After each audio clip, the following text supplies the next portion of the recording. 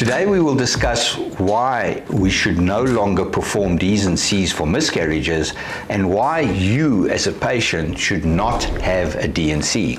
Stay for the duration of this video to find out why. What is a D&C?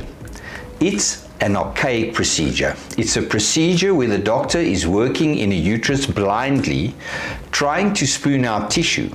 It is important for you, the patient, to know the doctor cannot see what he or she is doing, and it is all done by feel only.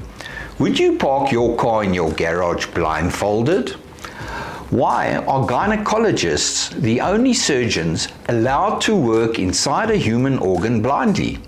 We have a hysteroscope, which is a telescope with a camera attached that we can place into the uterus and we can both see what we are doing and treat at the same time.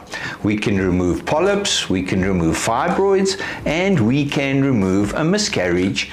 Very seldomly cause any harm to the uterus. We never use electricity in the uterus, we only use mechanical instruments. As I said before, would you park your precious car in a garage blindfolded? No one would. Here, I have placed a hysteroscope into the uterus. This view is unfortunately an identical twin miscarriage which was diagnosed on ultrasound. Here is the pregnancy sac. The placenta is obviously at the back, what we call posterior. This is the tubal opening on the right, and this is the left tubal opening. And this is a very healthy decidual tissue or the pregnancy lining of the uterus, which we unfortunately as gynecologists have been trained to remove all this tissue blindly and invariably end up with in excess of 30% of our patients having intrauterine scar tissue formation, better known as Asherman syndrome after the D&C. This tissue should never be removed. We should not scrape in the uterus.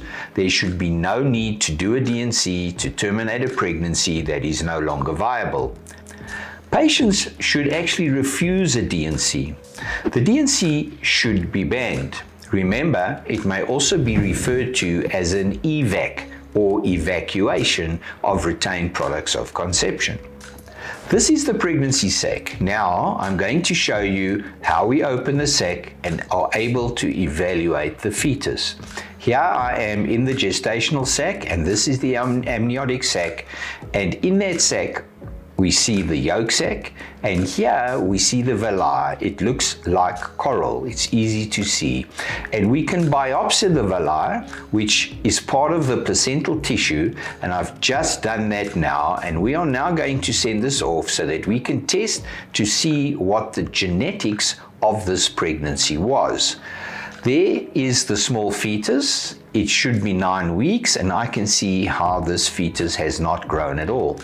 So there's the fetus in the amniotic sac, a very small fetus, which is probably genetically abnormal. Stay until the end of the video to find out what the genetics of this fetus was, and we will also have the gender.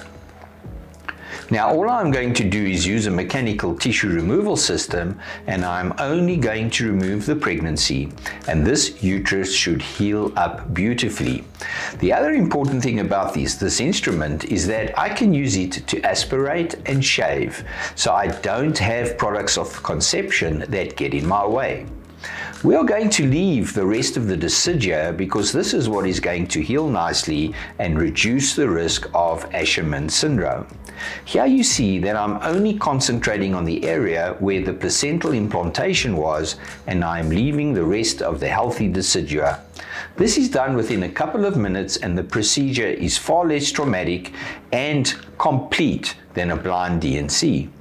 The direct visualization ensures that the uterus is empty, there is a placental bed completely removed, only concentrating on removing the placental bed and removed only the pregnancy, and we leave this decidua to heal up in order to reduce the risk of intrauterine scar tissue formation or, as I mentioned, Asherman syndrome. The pregnancy was actually genetically abnormal. It was a trisomy 3. In other words, there were three chromosomes uh, number 3s present in the fetus instead of two chromosome number 3s. And this is a sporadic abnormality, and most of these sporadic abnormalities are a reason for why patients have an early miscarriage. The gender was actually a male. In light of the fact that we have the answer as to the cause of the miscarriage, this helps the couple to come to terms with it and move on. Should the genetics have been normal, this will prompt me to do more tests to assess why the patient miscarried a genetically normal pregnancy. So, in order to recap, why we should not perform a D&C. It's a blind procedure and it's a dangerous procedure, and there's a good chance that you can lead to infection.